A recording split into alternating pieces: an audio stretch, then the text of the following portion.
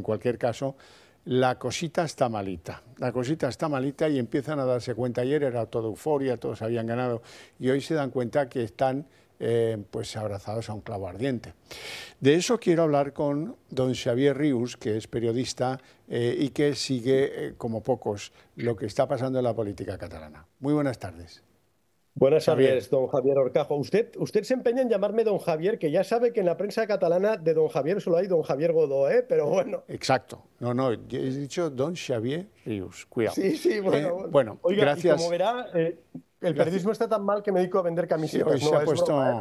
ya veo que se ha puesto sus mejores galas para asistir. Me he puesto de gala, ¿eh? Para, para, para, presentar batalla. Bueno, dígame, dígame, perdón. Yo creo que esto está completamente bloqueado, que empiezan a darse cuenta unos y otros, ya tenemos una víctima política, y, pero me interesa que concrete usted lo que a su modo de ver es eh, la decisión de Esquerra. Esquerra ya se ha deshecho de Aragonés, Supongo que ahora, eh, ¿cuál es el planteamiento de Esquerra? ¿Esperar a que la ley de amnistía sea una realidad y rehabilite a Oriol Junqueras y a lo mejor sus posibilidades electorales?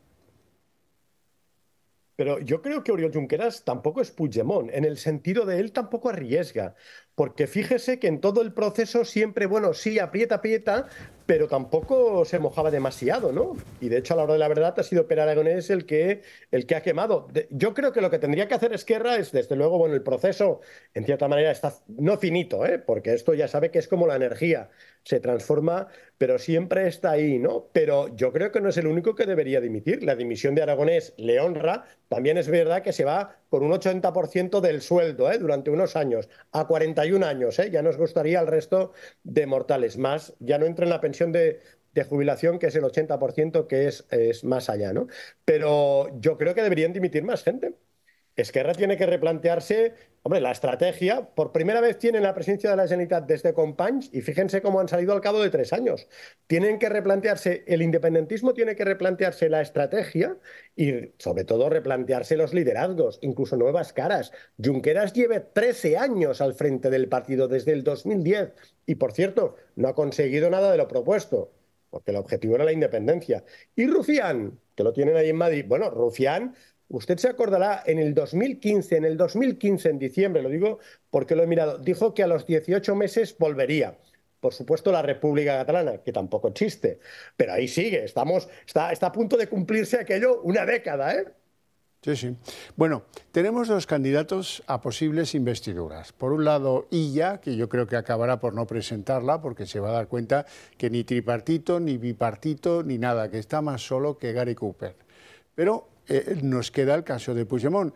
Este yo sí creo que en la segunda vuelta sí va a presentar alternativa para, supongo que eh, por cálculo eh, electoral futuro, para arrinconar a Esquerra que no le ha querido apoyar, etcétera, etcétera. Pero hoy estamos más cerca de la repetición electoral que nunca.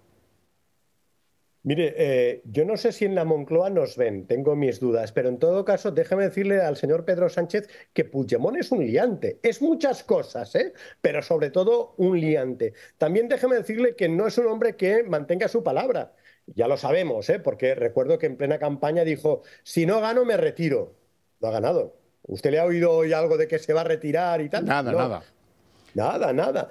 No solo eso, sino que además lo de liante, ¿no? Acuérdense que, bueno, pues hasta habló de moción de censura Pedro Sánchez. Hoy vuelve a, eso, ¿no? A sacrificar Salvador Illa por el... Perdón, una gente que decía que lo importante era la independencia de la República Catalana Usted se acordará cuando Pujol en los años 80 decía que no había que sucursalizar la política catalana, ¿no?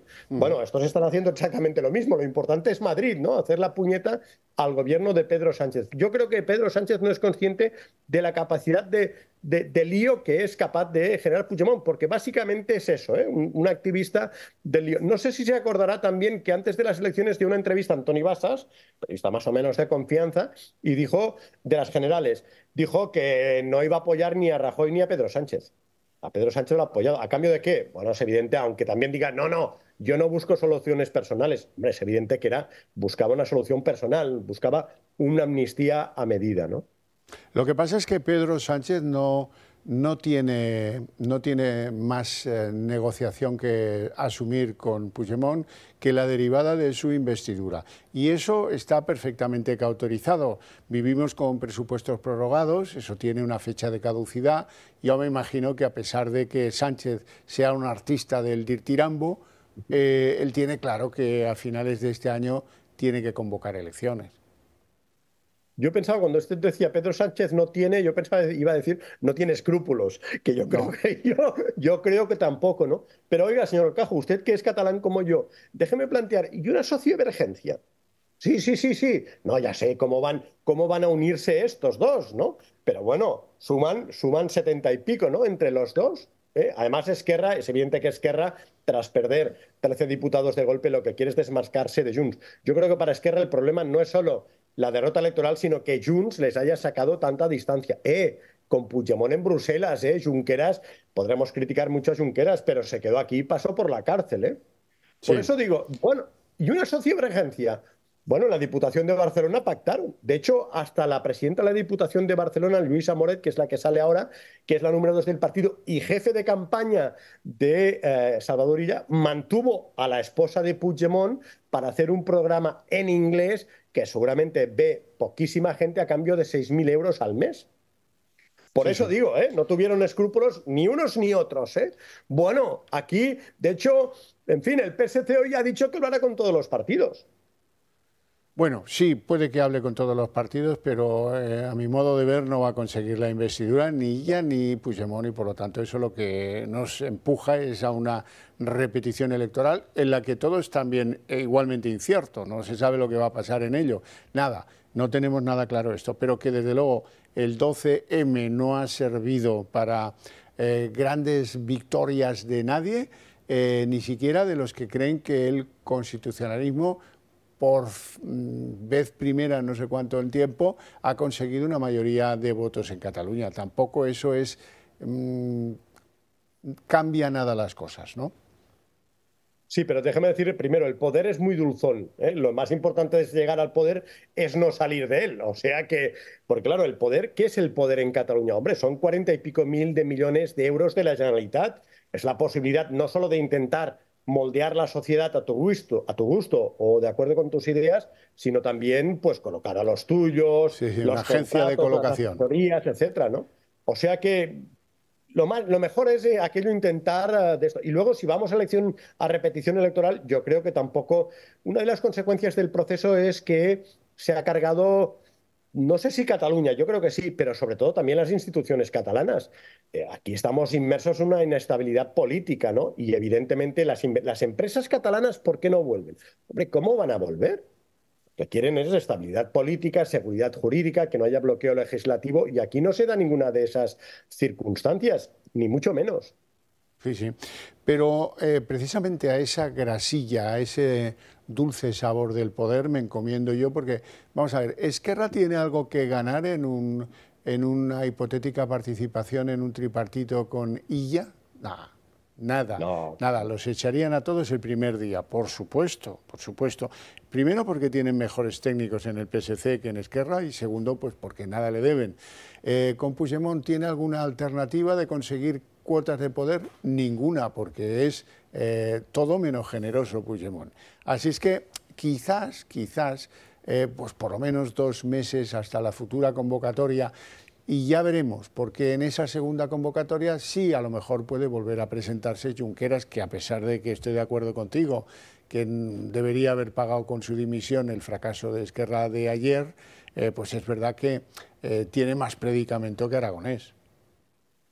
Sí, bueno, yo creo que Aragonés nunca, de hecho, ni siquiera lo veíamos de presidente. ¿eh? Otra de las consecuencias del proceso es que arrasó con toda una clase política, los que estaban en primera fila, el propio Junqueras, pues acabaron en la cárcel, inhabilitados, etcétera, etcétera, con lo cual personas que estaban en segunda o en tercera fila pasaron a primera. Por ejemplo, Aragonés, que había sido secretario de Economía con, um, con Junqueras, ¿no? Pero difícilmente estaba llamado a ser líder del partido y a ser presidente de la Generalitat. Llegó de rebote. Piense que ha gobernado con 30, bueno, ha gobernado, ha intentado gobernar con 33 diputados de 135, ¿no? Yo lo único que le recuerdo de Aragonés es que anunció la educación gratuita de 0 a 3 años, que no es gratuita, la pagamos entre todos, pero no me suena, aparte de amnistía, malversación, que es para favorecer a esa clase dirigente que nos ha llevado al proceso, al desastre, no hay medidas concretas que influyan o que incidan en la vida de los ciudadanos. Ya, bueno, Xavier Rius, iremos hablando a ver qué nos deparan estos dos largos meses de negociaciones y quién sabe, puede haber algún giro que no contemplemos, no lo sé, pero lo veo cada vez más complejo porque es una maraña de líneas rojas las que han llegado a constituir ahí que ni siquiera alguien aquí en Madrid se habla de cosas que hay que conocer un poco el territorio para decir que no, que no van bien, ¿no? Pero incluso se habla de que es, que ella puede reclamar el apoyo al Partido Popular y a Vox. Bueno, pues... Eh, la chate omnia esperanza, porque por ahí no van a ir las cosas eh, como... pues eso es tan claro como la eh, tiña que se puedan tener Puigdemont y Esquerra Republicana. O sea, parecido. Usted se acordará, ya sabe que ha habido cordones sanitarios, Alianza y Alianza Catalana y pero el primer cordón sanitario, usted se acordará, fue con el pacto del Tinel. Claro. Había un anexo que prohibían pactar con el PP, sí, aquí en los ayuntamientos y en Madrid, con el PP, que es un partido parlamentario alternativa de gobierno en Madrid. Sí, sí, sí, sí, sí, con un tal más que se fue a ver al notari, ¿no? sí, sí. sí, sí. Xavier Rius, un placer enorme tenerte en el programa. Gracias por tus explicaciones. Iremos viendo en la, eh, penumbra esta en la que nos hemos metido. ¿Cómo, cómo vamos bajando? Sí, de las elecciones. Muchas gracias. Un abrazo.